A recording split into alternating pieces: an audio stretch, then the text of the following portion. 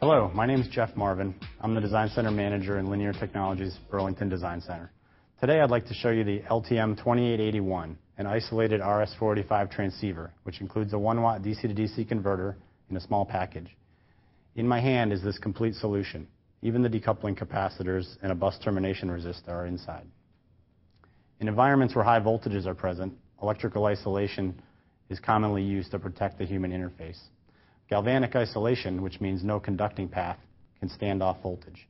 The LTM2881 is rated to 2,500 volts for 60 seconds, or up to 560 volts continuously.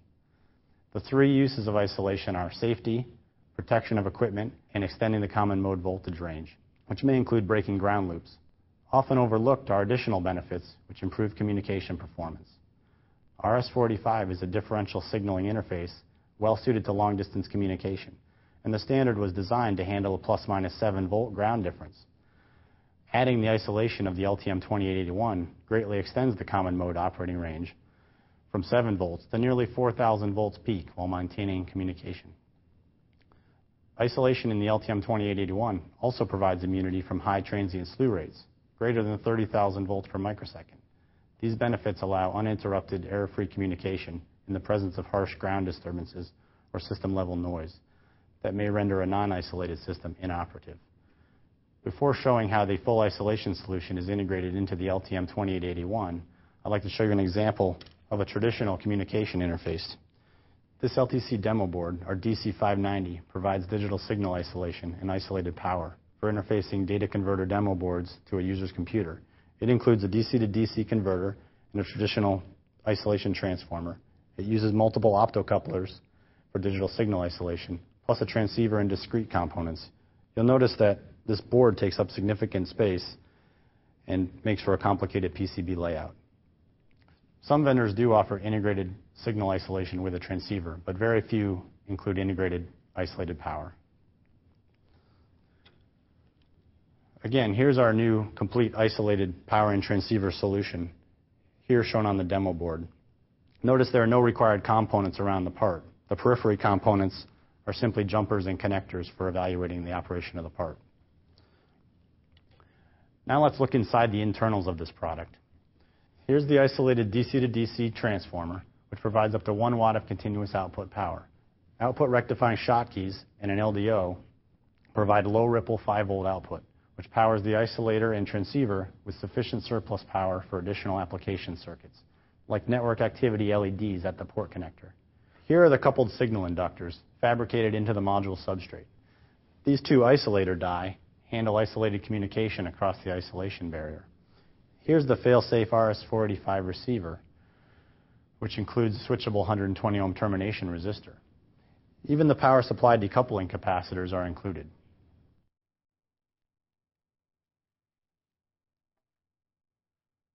This is the LTM2881 block diagram showing all the functions and pin connections. The input power supply can be 3.3 volts or 5 volts. The RS-485 transceiver operates at up to 20 megabits per second or in a low EMI slew-limited 250 kbit per second mode selected by the slow pin. The receiver has a high input impedance greater than 96K to support up to 256 nodes.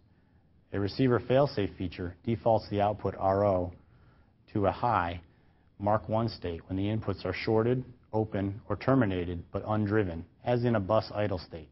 This can eliminate the need to pre-bias the bus lines, allowing flexible network expansion and the ability to truly support as many as 256 nodes. An internal 120 ohm termination resistor is logically selectable across the isolation barrier with the terminator enable pin TE. This allows system software to enable termination at the network endpoints, even when a network is expanded or reconfigured. The standard 120 ohm termination resistor still works well, even when used with lower cost Cat5 cable with 100 ohm characteristic impedance.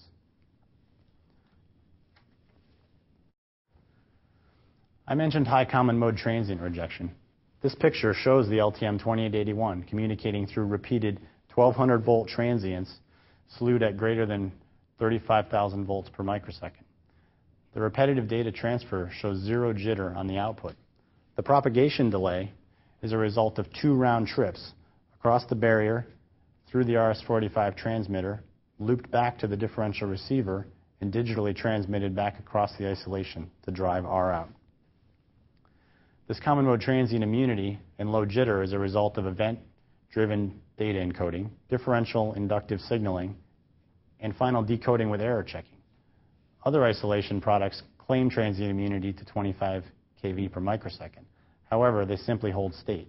It is much more significant that our product can communicate through an electrical surge or noise burst.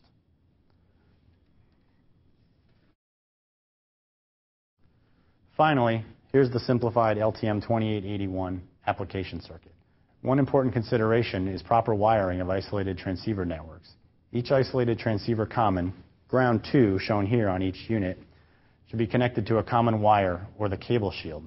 This forces common mode voltage and noise to be absorbed and rejected by the isolation barrier instead of appearing directly across the RS-485 receiver inputs. This is different than non-isolated networks, where the shield can only be connected at one node. With isolated networks, the common wire is called the reference wire and should still be tied to a known voltage to prevent the isolated wiring from floating to dangerous voltage levels.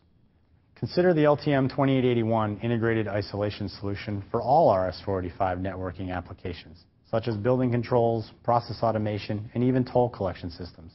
The higher performance benefits, robustness, and uninterrupted communication reliability add value, even in systems where the 2,500 volt safety rating is merely a bonus.